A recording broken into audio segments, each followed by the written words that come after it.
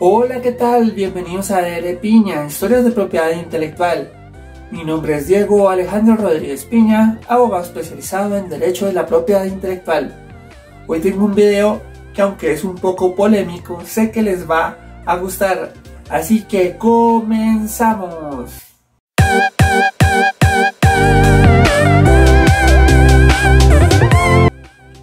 Como lo pudieron leer en el título de este video, la pregunta es la siguiente.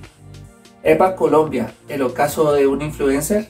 Para los que no conozcan quién es EPA Colombia, es una reconocida influencer colombiana quien se hizo muy popular por su apoyo a la selección colombiana de fútbol.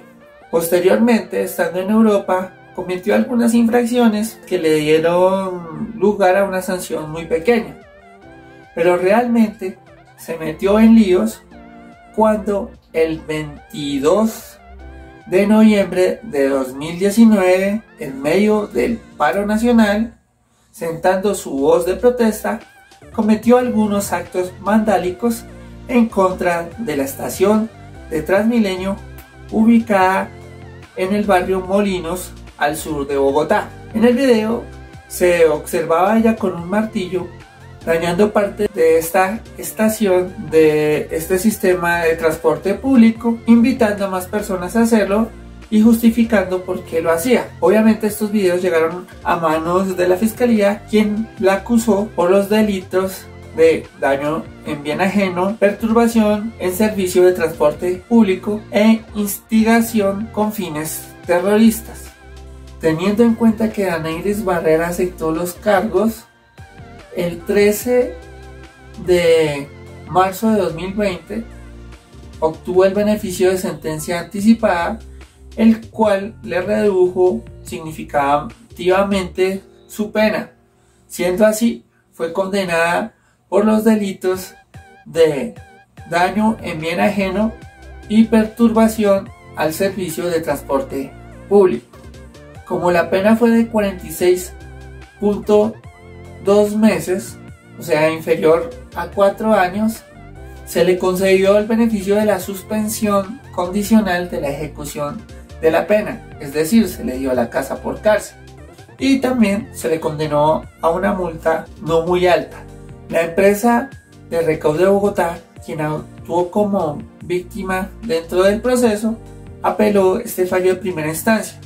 El 5 de agosto de 2021 se profirió fallo de segunda instancia. El Tribunal Superior de Bogotá, Sala Penal, la condenó a más de 5 años de cárcel, a una multa de 450 millones de pesos, revocando el fallo de primera instancia. Es decir, no solamente la condenó por el delito de daño en bien ajeno, perturbación en servicio de transporte público, sino que también la condenó por el delito de instigación con fines terroristas.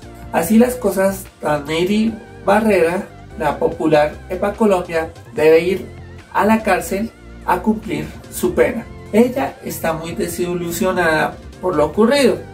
Pero hay algo que es contundente y que en verdad es más que suficiente para que la pudieran condenar pese a que se allanó de los cargos, es decir, los aceptó.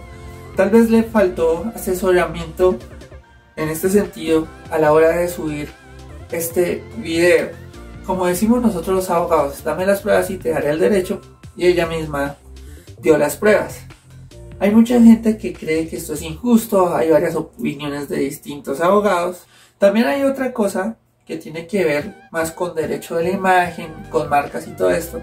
Taneiri ha hecho cosas positivas. Tengo entendido que en el barrio Molinos hace eventos donde invita a la gente, apoya a muchas personas, genera empleo con sus centros de estética, con sus tratamientos a base de queratina. Al parecer ha generado más de 200 empleos. Y esto es muy importante porque ella es una persona emprendedora. Ahora, hablando un poco de la marca, ella también tuvo un inconveniente con el INVIMA porque el INVIMA dijo que el tratamiento que ella usaba no podía llevar el nombre queratina, sino tratamiento alisador. La cuestión con esto es que la queratina es una proteína natural, ¿sí?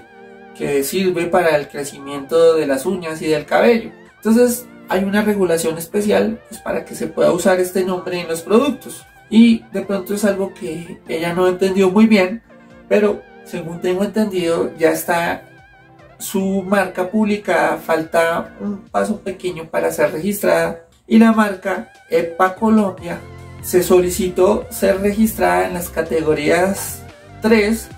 Esta categoría es sobre tratamientos capilares y la categoría 35 que tiene que ver con la organización de eventos.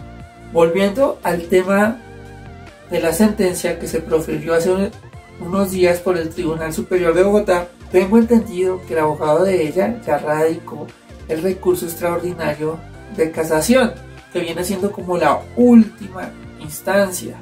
Si esto es un recurso extraordinario que le puede beneficiar mucho, pero para poderlo sustentar puede pasar mucho tiempo.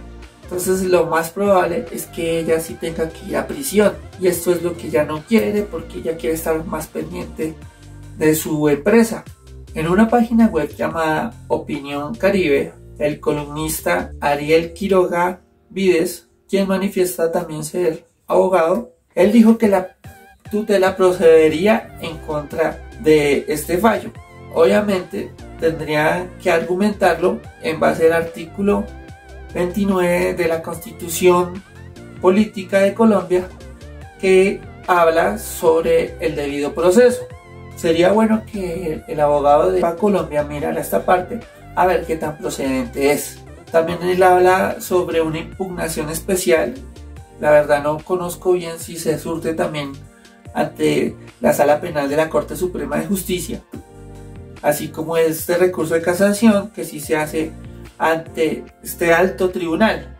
Entonces, tengo que esperar a ver qué pasa. La moraleja de todo esto es lo siguiente, y lo digo para los muchachos que son influencers, youtubers, gamers, lo que sea.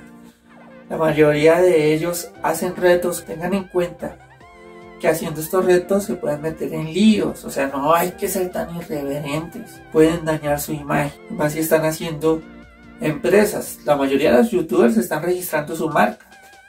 Si ustedes por hacer un reto muy loco con otro compañero youtuber con el afán de hacer una colaboración, hacen algo que puede no solamente atentar su salud, sino también atentar derechos de los demás, derechos fundamentales cosas de otras personas pueden tener líos legales. Entonces deben tener mucho cuidado con eso.